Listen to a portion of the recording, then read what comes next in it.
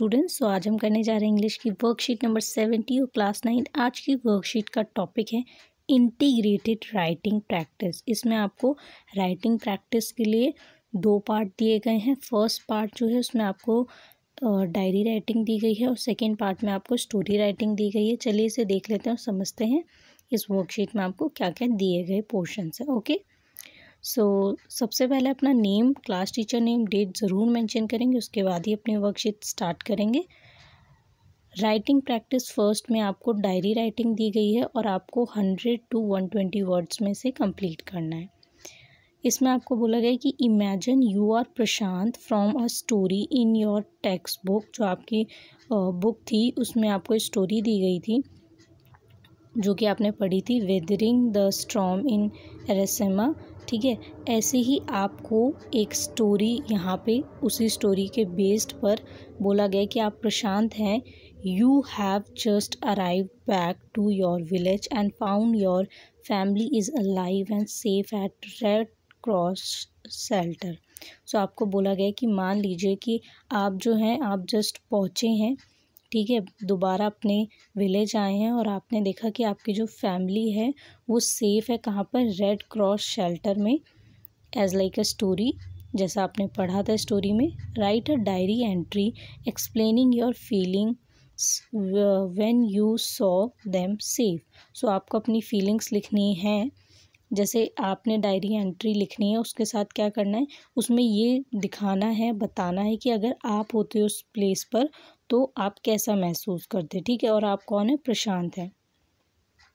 You can also write about how you felt afterward looking at the living conditions in and around the shelter तो shelter के आस पास आसपास और shelter के अंदर जो लिविंग कंडीशन थी, उसके ऊपर भी आपको कैसा महसूस हो रहा है, आपको ये लिखना है ओके सो डायरी एंट्री में आपको स्टार्ट करना है डियर डायरी ओके और ये कंप्लीट करना है। देन इसके बाद सेकंड जो है राइटिंग प्रैक्टिस टू इसमें आपको स्टोरी लिखनी है hundred to one twenty words में। इसमें आपको बोला गया है कि let us look at the picture आपको पिक्चर देखनी है given below and write a story based on what you see आप पिक्चर जो देख रहे हैं, इसके अकॉर्डिंग आपको लिखना है।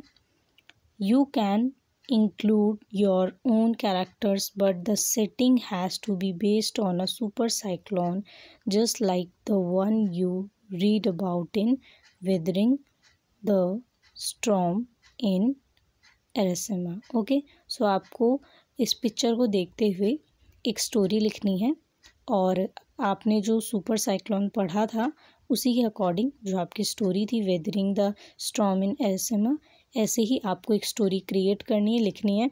आप अपने अकॉर्डिंग लिख सकते हैं कैरेक्टर अपने अकॉर्डिंग डाल सकते हैं बट इस पिक्चर को भी आप यूज़ कर सकते हैं ओके सो इसके बाद आपको कोविड अप्रोप्रिएट बिहेवियर दिया गया है। C A B message wash your hands with soap and water regularly अपने हाथों को सोप से और वाटर से रेगुलरली वॉश करना चाहिए आपको। किससे? सोप से और वाटर से क्योंकि आपको कोविड से फाइट करनी। सो so, यहाँ पे क्वेश्चन हम ऑलरेडी रीड कर चुके हैं। चलिए आंसर देख लेते हैं। आंसर है आपका जो आपकी डायरी राइटिंग है। इसमें सबसे पहले एरेसमा ठीक है? देन इसके बाद है Saturday twenty six December twenty twenty तो किस दिन और क्या डेट है ज़रूर लिखें उसके बाद टाइम नेक्स्ट लाइन में और इनके बीच में गैप ज़रूर देना है. देन डियर डायरी सो आपको इसे स्टार्ट करना है. Today when I came back to my village after the deadly storm I found my family is alive and safe at Red Cross then I felt myself as a luckiest person in the world so ये जो आपकी story दी थी, उसी पे based मैंने कुछ lines लिखी हैं, जो आपको क्वेश्चन में पॉइंट्स दिए गए, उन्हें भी ऐड किया है। उससे क्या हो गया कि आपको बहुत ज़्यादा पॉइंट्स खुद की तरफ़ से नहीं सोचने हैं। आपको स्टोरी और आपको जो हेडिंग दी गई है उसी में से आप पॉइंट्स ले सकते हैं। ओके आपके लिए ज़्यादा इजी हो जाएगा क्योंकि एग्ज़ाम में भी आपको जो हेडिंग दी गई होती है उसमें से दो सेंटेंसेस ऑलरेडी मिल जाते हैं कुछ पॉइंट्स मिल जाते हैं जिसे आप उसको और एक्सटेंड करके और बड़ा करके लिख सकते हैं। सो so, यहाँ पे लिखा है कि today when I came back to my village जब मैं आज अपने विलेज वापस आया था आफ्टर द डेडली स्ट्रॉम जो डेडली स्ट्रॉम था उस, उसके बाद I found my family is alive मैंने देखा कि मेरी फैमिली जो है अलाइव है and safe at red cross shelter और रेड क्रॉस शेल्टर में सभी सेफ़ हैं. Then I felt myself as a luckiest person in the world तब मैंने अपने आप को महसूस किया कि मैं कितना लक्की इंसान हूँ उस वक्त, इस दुनिया में सबसे लकीस्ट इंसान खुद को मैं समझ रहा था। And they were too very happy to see me और वो लोग भी मुझे देख के बहुत खुश थे कि मैं भी जो हूँ, अभी मतलब मुझे किसी भी तरीके का हार्म नहीं पहुँचा। आई थैंक टू गॉड और मैंने भगवान को क्या किया? थैंक्स किया।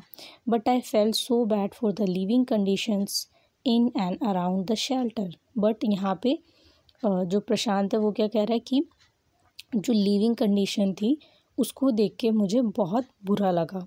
I took some of others and start to clean the shelter after cleaning the shelter everyone felt more good to live at that place so यहाँ पे प्रशांत क्या कहता है कि मैंने लोगों की मदद ली, जो भी वहाँ पर थे, उन्हीं की हेल्प ली और शेल्टर को क्लीन करने की कोशिश की क्लीन किया और उसके बाद लोगों को वहाँ पे रहना अच्छा लग रहा था। क्योंकि जहाँ साफ़ सफ़ाई होती है, वहाँ आप ज़्यादा अच्छा महसूस करते हैं, घर जैसा महसूस करते हैं। देन आफ्टर आप देखेंगे कि सबसे एंड में आप अपना नाम लिखेंगे। तो आपको नेम गिवन है, प्रशांत सो आपको यही लिखना है ओके यहाँ पे आपका ये जो फ़र्स्ट पार्ट है कंप्लीट होता है, इसमें आप चाहें तो और लाइन भी ऐड कर सकते हैं और चाहें तो इतना भी इसे लिख के कंप्लीट कर सकते हैं। क्योंकि बहुत सारे बच्चे बाद में क्वेश्चंस करते हैं, क्या मैम मैं इसके आगे क्या लिखूँ, मैं इसके पहले क्या लिखूँ बाद में?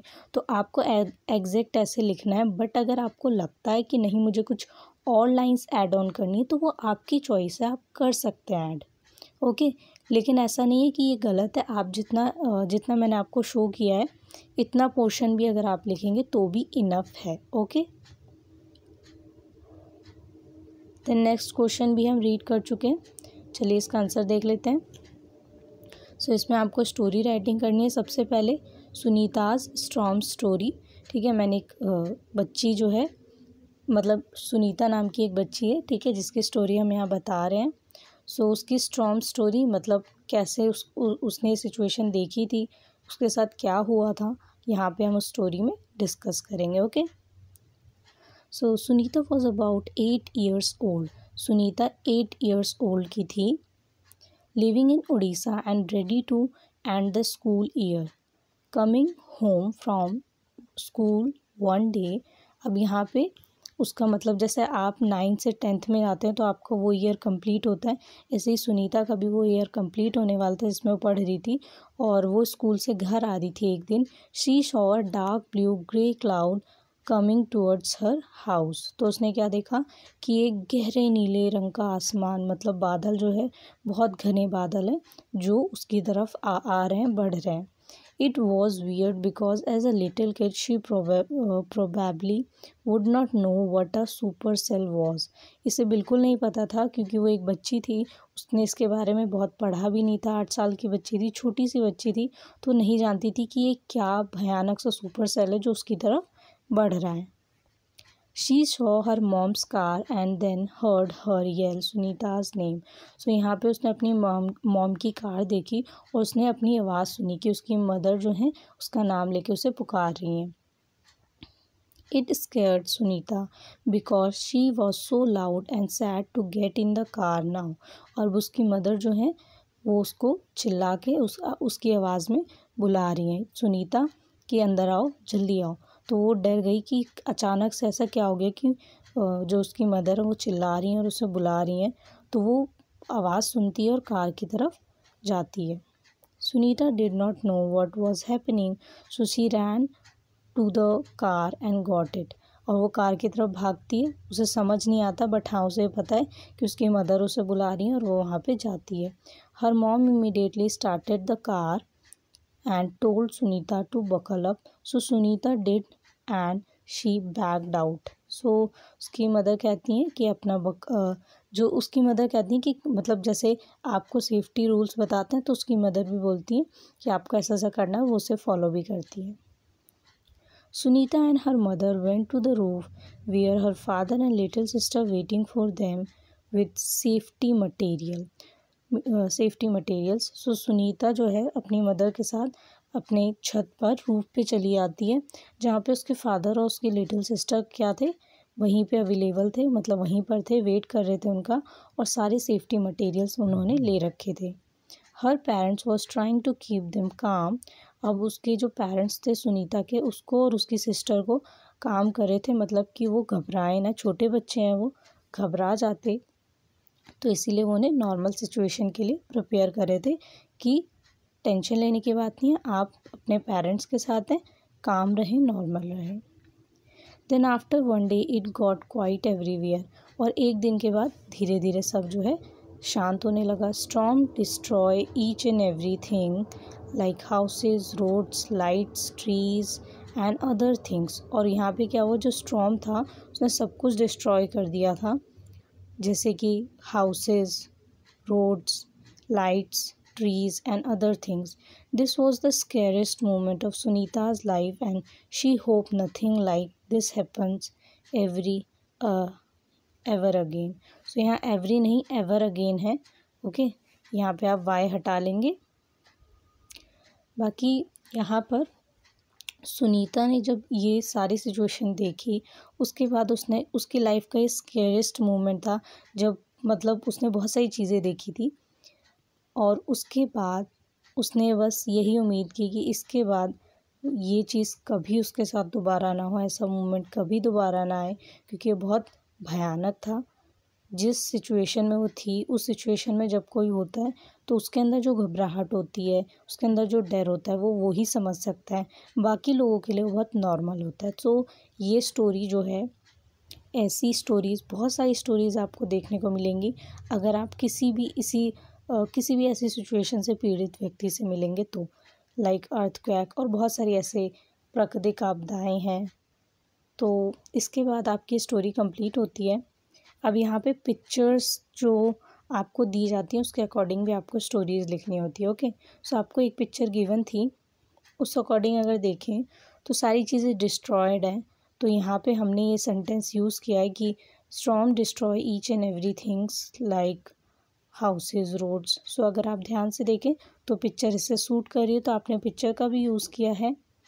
आपको जो गिवन हेडिंग थी, उसके अकॉर्डिंग भी आपने इसे कंप्लीट किया है। सो यहाँ पे आपकी जो स्टोरी है कंप्लीट होती है।